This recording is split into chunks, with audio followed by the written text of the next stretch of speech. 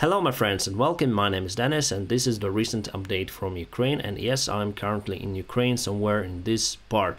Everything that is happening in Ukraine, uh, happening uh, either on south part or of course eastern part of Ukraine, Russia offense over here and they are quite successful. They were successful near to Kreminna. They were able to capture the place. Uh, it's a kind of big village uh, we have there. And last time we were talking, it was like I think like this, and now it's like this, my friends. So they're offensive here, here, and you can see some of the errors arrows here and there. So our troops i hope they were able to get away from these gloves so their the tactics the russian use is their attack using these lines of gloves uh, like in second world war. And but our defense is very strong there. They are using uh, Russia uses aviation, they use uh, artillery, they use helicopters, and every day I see the videos how we shut down helicopters, how we shut down the airplanes, very modern type of the airplanes uh, that they use. And the main main thing actually they want to do is they want to capture our troops here by circling on this uh, road line, big road line from Izum to Donetsk and Gorlivka. Unfortunately, they have advantage on the east, so Russia they took all of their forces from all around uh, Russia and they put them to the eastern part and now we have 5 to 1 ratio. So we have 5 uh, let's say army men from the Russian side fighting against one Ukrainian uh, on this line uh, here. Uh, that's bad of course for us but we are defending. That is why we need to uh, stay our ground and protect our country over there or to let them take this uh, part if it will be the threat for our army there just if it's going to be the threat for us to be surrendered by Russians. On the south part we have uh, well pretty much calm but they continue to fight uh, to fire their ro rockets to Mykolaiv and uh, about this part it's part of Moldova actually but uh, we call it PMR. It's unrecognized republic where Russian peacekeepers are there. Uh, there, I think there are around 2,000 of Russian troops. So as you see, we need to take care about the Kiev. We need to take care about this place. We need to take care about Sumy.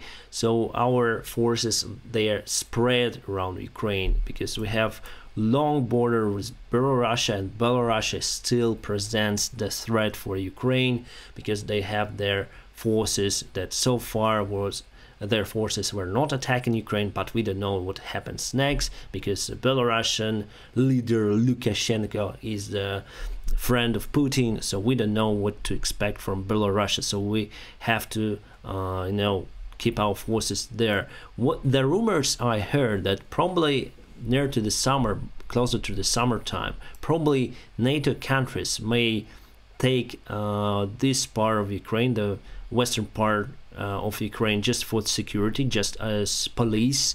Uh, they may, you know, not offend, but they may just go and provide security for those regions, so we can release our own uh, soldiers and forces to fight against Russians on the eastern part. That's what I heard, but I may not say uh, the the true things because those are just the rumors. The good part for me, I was able to. The good news for me is I was able to find some iodine. We need the iodine uh, to replace to put it in a thyroid uh, because in case of nuclear attack, which is of course possible, because of this conflict is large, it's huge, and we don't know what Putin thinks about, what their military thinks uh, think about.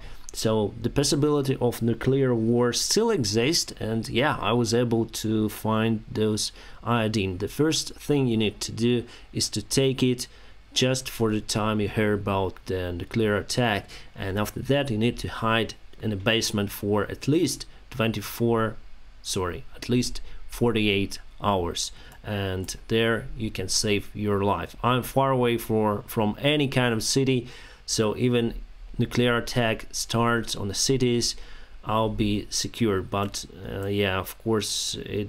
I hope um, it will not uh, go to this scenario, my friends. Um, about uh, Wizz Air, well, the good news, yeah, uh, you know there's a Wizz Air carrier, the low-cost area carrier in Europe.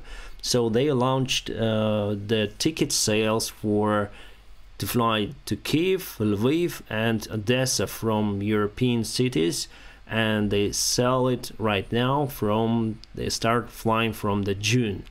So I don't know if aviation recovers that fast if I see them very optimistic you know my friends but I still do not believe that it will it's gonna be like very easy way out of this conflict. I think it will prolong for longer time than it will go longer than the June still our cities are under attack and of course that presents the threat for commercial flights in Ukrainian airspace. So far it is closed, but maybe they know something that I don't really know. I hope, uh, not I hope, but I'm sure that we're gonna win this war against Russia because we are so united.